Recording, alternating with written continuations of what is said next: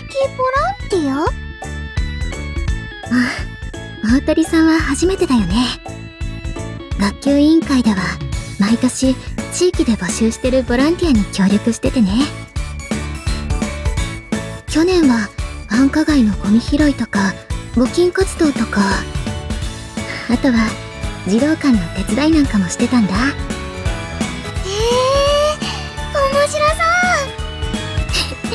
実際やりがいはすごくあるよ。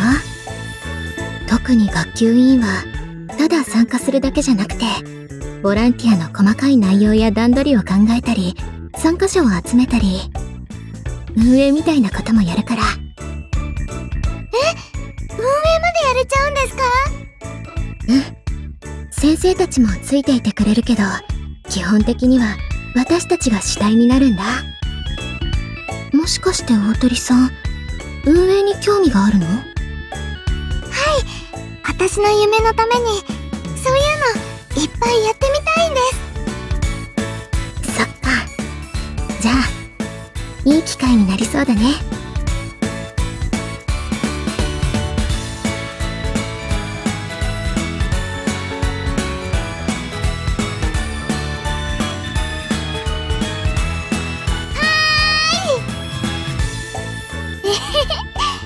私は何のボランティアの担当になるのかな？ゴミを拾って街をキラキラにしたら遊びに来た人もみんなニコニコってなってくれると思うし募金活動をしたらきっとたくさんの人が笑顔になるお手伝いができるよね。児童館で小さい子とわーって遊ぶのもとってもワンダホイだしどれになっても一生懸命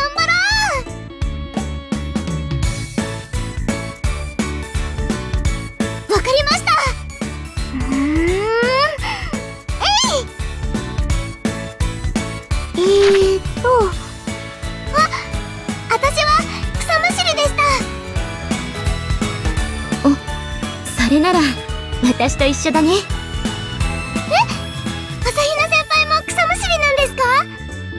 やったー。一緒にいっぱい草をムシムシしちゃいましょう。大鳥さんと一緒なら楽しいボランティア活動になりそうだな一緒に頑張ろうね。は、はい。うーん。やっぱり笑ってないよ。あ、でも一緒の担当ってことは先輩を笑顔にするチャンスがあるかもだよね。それなら草むしりのボランティアも笑顔作戦もどっちも頑張っちゃおう。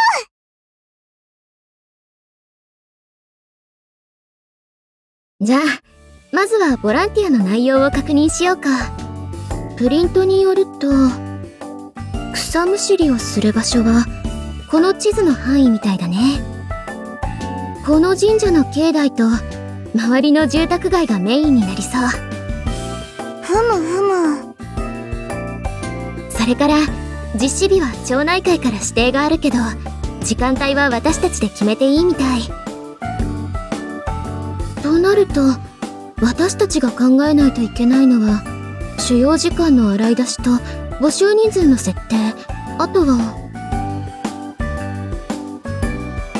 すごいなあ朝比奈先輩。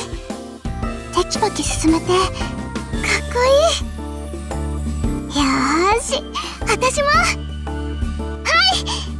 あとは当日の持ち物とか私たちが準備しなきゃいけない備品も確認しておかないとですよね。そうだね。草むしりのボランティアは毎年やってるはずだから去年の資料を参考にしてみようか。はい。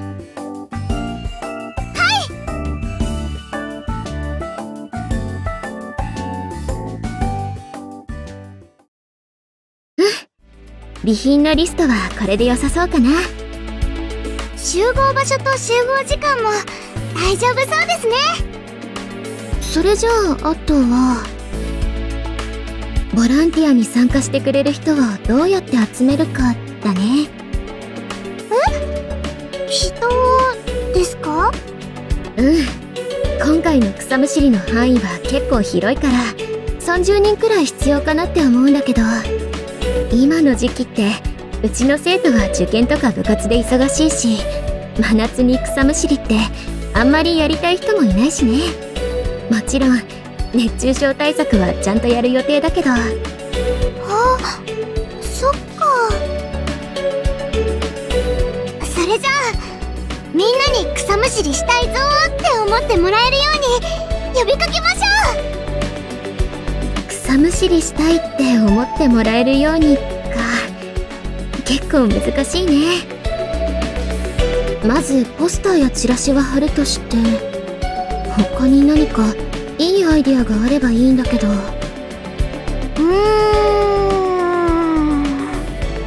わショーをやるのはどうですか？え？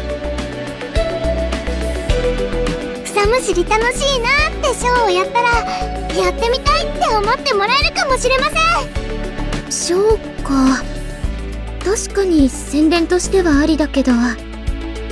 でもそのショーを作るための時間や人手やあとは機材や場所のことを考えるとちょっと難しいかもね。ああそっか。じゃあじゃあ2人でパレードをやっちゃうのはどうでしょう？パレード？はい。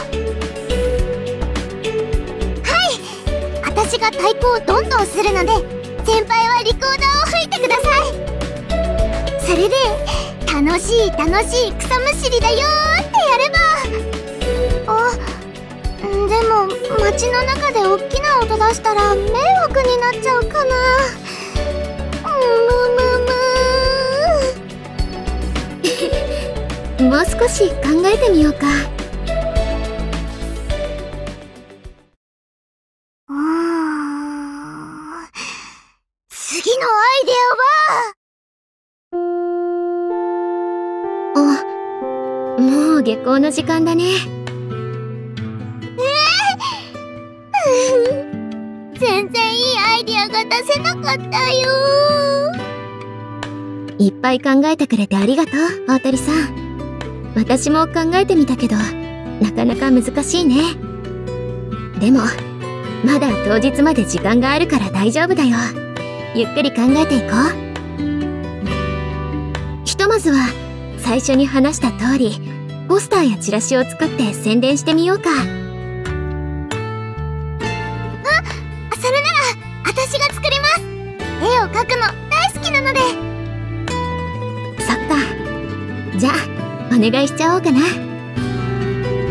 それでもしポスターで人が集まらなそうだったらまた別のやり方を考えてみようか。はい了解です